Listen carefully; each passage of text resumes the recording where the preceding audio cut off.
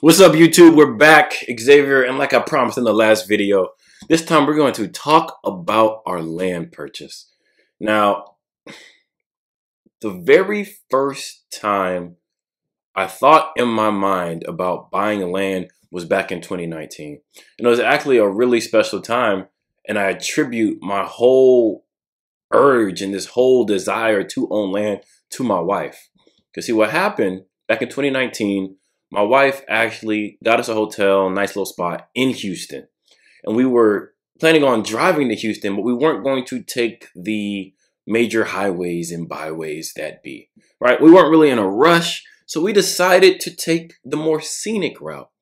And it was that choice to take the scenic route that forever altered my perspective and perception on what I thought was possible. See, up until that point, just being real, coming from where I come from, people I deal with on a daily basis, people in my family, people in my wife's family, you know, we don't really come from people that own land. They even talk about it. It doesn't really come up in our conversations. But we were driving the scenic route, man. I saw plot after plot, farm after farm, estate after estate. And I'll tell you this by the time we got to Houston, I knew one thing. I wanted some land for myself. Let's get into it.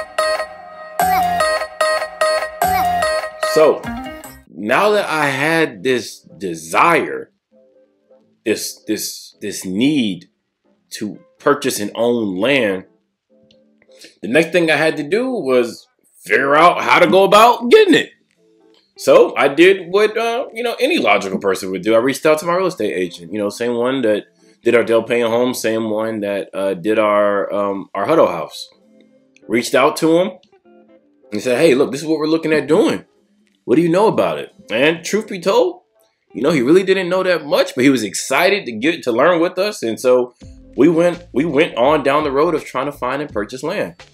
And I'll tell you this: when we were first starting out, we went about purchasing land basically the same way we went about getting our our two houses.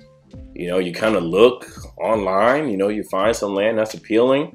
You reach out to the sellers, you know, they'll send you some surveys, they'll send you some some other things and then we kind of scheduled a day, maybe two or three days down the line where uh, our real estate agent will come over the house and we drive out, you know, hour and a half, two hours out to the lots. We kind of compile a little list, maybe five or six properties, and we'd go to each lot, walk around it, see how it felt, you know, really get into the spirit of everything. And I'll tell you what, we didn't get a single parcel of land that way.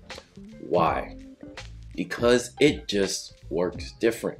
Buying land is different specifically buying affordable pieces of land is different. I'm sure that if you got fat pockets and you're looking to spend three, four, five, six hundred thousand, that there aren't too many people out there, at least here in Texas, that are going to be trying to compete with that. But we were trying to spend, you know, we were open to spending between 120,000 and less. That is a fat market. That's basically where everyone who's purchasing land in Texas is trying to be. And so we came across some good deals. But by the time we did this whole little, you know, process, land be gone. There, there'd already be offers put in on the land.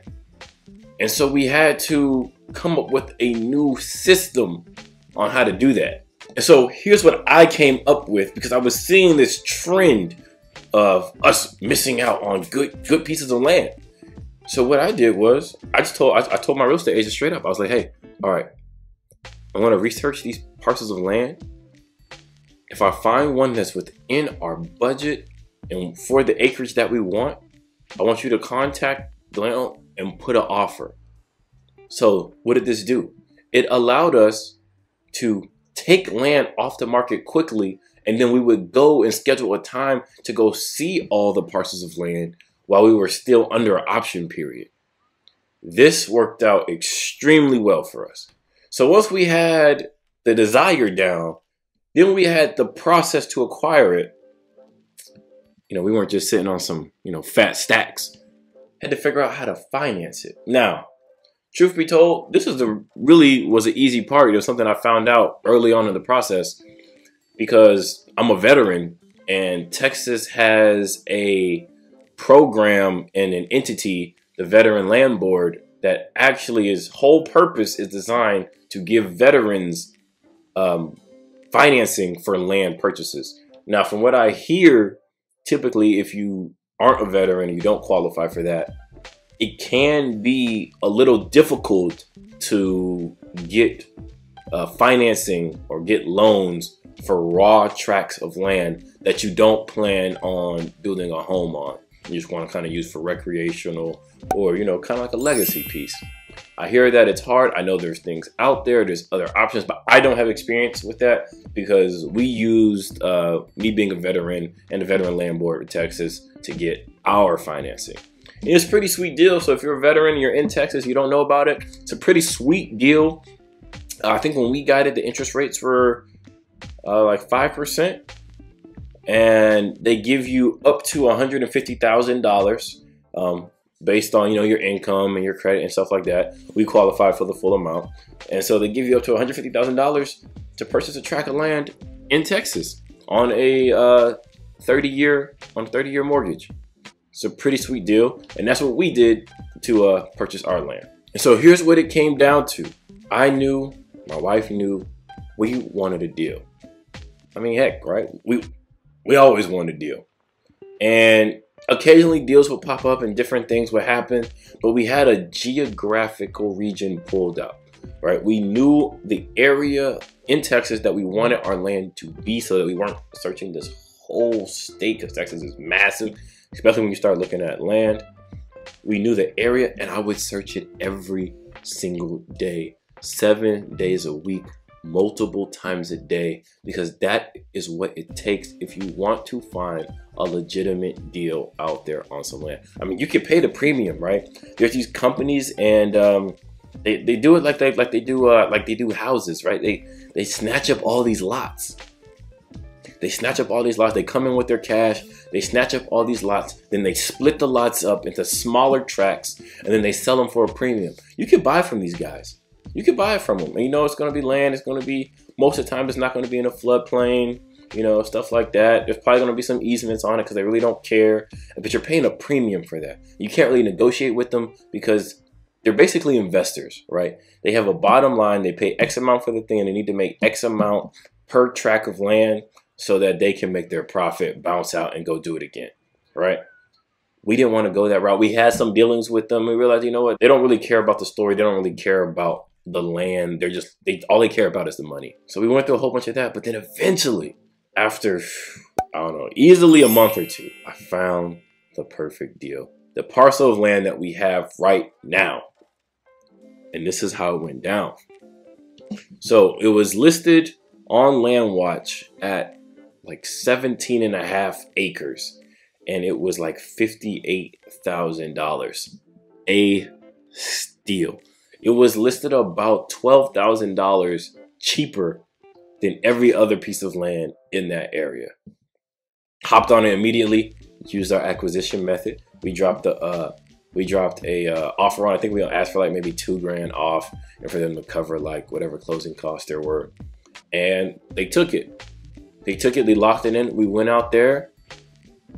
Loved what we saw. We loved the feel of it felt natural, had had some water on the property, a whole bunch of places to explore. It was awesome. We loved it. We loved how far off it was from the main road. Boom. Here's the thing. It gets better. It really does get better. We learned so much from going through this process. When we wrote up the contract, there was a stipulation. You make sure that you guys have this in there too when you guys have your real estate agents or you guys write up yourselves. There was a stipulation that because of the age of the survey on the property, a modern day survey would need it to be, have been done. The price that we negotiated per acre, because that's how you negotiate land, is price per acre. The price per acre was set in the contract so that whether the parcel ended up being bigger or smaller, we paid the same price per acre. Now, had the piece of land ended up being bigger, that would have bit us in the butt because the way it works, at least here in Texas, the bigger the, the tract of land, the less you pay per acre. The smaller the tract of land, the more you pay per acre. But guess what? It did not bite us in the butt. It worked heavily, heavily in our favor. So we got the modern survey done, and guess what? Well, the last survey, the last survey that was done on that piece of land was done in 1912. 1912, and yeah, I know what you're thinking. There's probably a big difference in technology between what they had to survey land back in 1912 versus what we have today here in 2020. And guess what? You're absolutely correct. All right. So the land, even though they had it listed at 17, because that's what their 1912 survey said, the land actually came back at being 10.51 acres. And actually, believe it or not, the seller was freaking out because they thought that we weren't uh, still going to be interested in the property. Not only was I still interested, I saw the investment opportunity in it also. Because we got locked in at a price per acre of like $3,300 per acre, which means that we were going to get this 10 and a half uh, acre piece of land for like $36,000 versus what the going rate in the area was at the time, which was 70. All right. To me, that was a no brainer. Will we have liked a little bit bigger piece of land? Yeah. Could I have gotten a bigger piece of land for $36,000? Absolutely not. All right. So we jumped on it. We stayed in the deal. It appraised by the uh, by the county appraiser for like 58,000. So already we were up on the land. We loved it. All right. We still love it. I made it sound like we don't still have it. We absolutely still have it. I'm holding on to it for a long, long time. Probably going to pass it down. It's our legacy piece. It's our first piece of land. We plan on buying a lot more, right? And so the takeaways, the takeaways, it's something that we didn't really know. It kind of happened that way, but now having gone through it, I would actively do this. If you're looking for land and you want a deal on it, it's people who want a deal. You want to buy commercial, you do you do your thing. They're out there, right? If you want a deal on the land, it's going to take a lot of research on your part. And so, what I would suggest is you pick the geographical region that you want the land to be in. Then you find out how much you want to spend.